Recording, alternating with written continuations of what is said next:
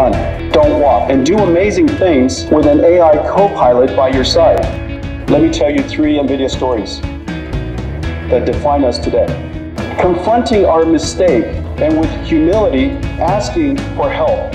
We believe the time for accelerated computing would come. We persevered and promoted CUDA tirelessly worldwide.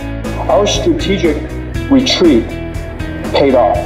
By leaving the phone market, we open our minds to invent a new one.